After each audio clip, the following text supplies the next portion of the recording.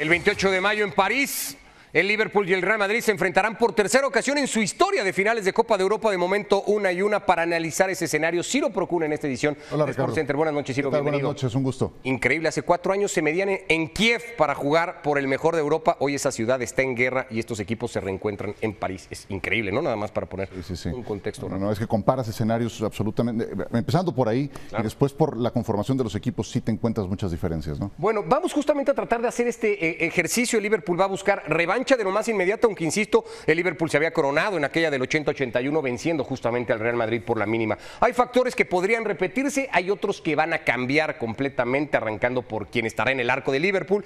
Ya no es Karius, que fue fundamental aquel día, será Alison Becker. Eh, de todos estos, Ciro, si los ranqueáramos del 1 siendo lo más importante al 5, ¿qué factor crees que podría repetirse para inclinar la balanza a un lado u a otro o que Sí. podría ser el que cambie por completo? De- debo decir que, que hay varios que faltan. O sea, Correcto. por ejemplo, no encuentro aquí a Thibaut Courtois y yo creo que eh, el paso del Madrid por esta etapa de eliminación directa en la Correcto. Champions no se entendería sin Courtois. Por encima de Benzema, tal vez inclusive. ¿eh? Sí, yo creo que eh, esta Champions es de esos dos, de esas dos grandes individualidades. Vamos a, a hacer esa primera acotación. Correcto. Y del lado de Liverpool sí encuentro un factor que, que- que los hace mejores y que llegó apenas hace poco, que Luis Díaz. Le ha robado todo el protagonismo a Diogo Jota. Pero entrando en esta dinámica, y a lo mejor los... No, no, no, Lo no. podríamos incluir, en la- si quieres, en la banca de Liverpool. Banca de a- a- Liverpool. aunque es titular, creería yo. Lo- yo lo veo titular el 28. Yo también lo veo titular. Pero bueno. Lo veo titular.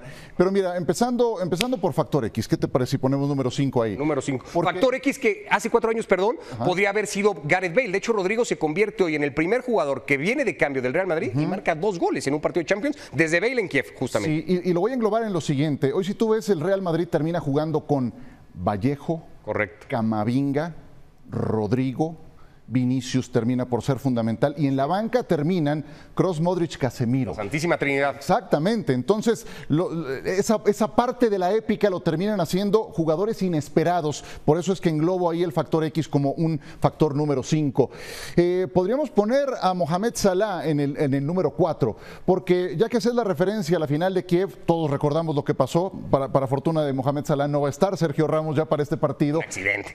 Eh, eh, eh, bueno, todo el mundo vio lo que pasó, ¿no? Pero para fortuna de Salah no va a estar Sergio Ramos. Eh, y bueno, sí creo que Salah hoy ha dado un salto de calidad de uno o dos peldaños en su rendimiento. Si el Salah que vimos en 2018 era bueno, el actual me parece mejor. Y además creo que está mejor acompañado, con un Mané más maduro y con un Luis Díaz del que ya hablaba. Raro no haber visto gol de Salah en la eliminatoria de semifinales contra el Villarreal, ¿no? Porque marca el Liverpool y, y- y Salah no aparece para hacer ninguno de esos goles. Así es, pero, raro. pero creo que si alguien trae eh, esa espina clavada es justamente Mohamed Salah, hay que recobrarla. Lo escuché y es difícil que se mojen los jugadores en, en el festejo de la obtención. Sí, pidió al Madrid. Pidió al Madrid. Porque dijo es muy difícil el City, nos conocemos demasiado, ojalá sea el Madrid. Se le concedió a Mohamed Salah. Venga. Eh, esto lo tengo que. No, esto lo voy a poner mejor en el 2. Ok. Lo voy a poner a Carlo Ancelotti. En el número 3. En el número 3, sí. Hoy Ancelotti creo que se tardó en hacer los cambios, pero finalmente le ha salido muchas cosas a Carlo Ancelotti. Si recordarás, Zidane estaba en la banca de aquel equipo del Real Madrid y Ancelotti ha sabido gestionar a un equipo tal vez sin mucho fondo de armario, sin muchas rotaciones, que todos pronosticábamos que a estas alturas habría caído en lo físico y son campeones de liga y están en la final de la Champions. Por eso lo pongo ahí. Quinta final va a dirigir Carlo Ancelotti, va a buscar su cuarto título en Copa de Europa, sería el primer entrenador en conseguir ese palmarés en el torneo continental. Sí. Impresionante. Esto es paranormal y eh, los intangibles creo que varias veces han hecho al Real Madrid elevar su nivel contra equipos que lo superan en lo futbolístico, que en la suma de los 180 o más minutos de esas series fueron mejores en lo futbolístico, pero muchas cosas se explican por la mística y esa mística la tiene el Real Madrid más que ningún otro. Aunque no sea en el Bernabéu, porque creo que ese es un factor importantísimo. Remontó, sí, al París, al Chelsea, al City, en el Bernabéu. Acaba de ser otro estadio. Sí, es su competencia. No importa. No, yo creo que ese, ese intangible tiene un peso muy importante, por eso lo pongo tan alto. Y creo que el principal factor está en el entrenador. Creo que el Liverpool de la actualidad es considerablemente mejor al Liverpool de aquella final del 2018.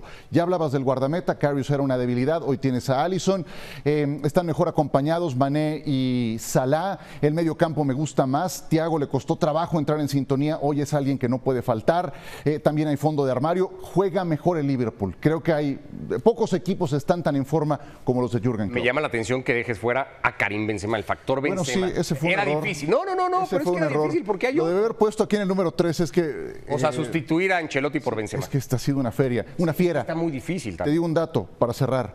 3-4-3. Tres goles al Paris Saint Germain, cuatro goles al Chelsea, tres goles al Manchester City. Vea qué equipos. Sí, Increíble. tienes toda la razón. La final de hace cuatro años marcó el último partido de Cristiano Ronaldo con la camiseta del Real Madrid y en San Denis, donde se va a jugar el partido, el Real Madrid ya ganó una Copa de Europa, aquella que le ganó al Valencia tres goles a cero. Todo eso también podría incluirse en todo esto. Ciro, un placer, gracias, buenas noches. Te vemos al ratito en picante. Me recibiste con más entusiasmo. Fuera de micrófonos. Vane.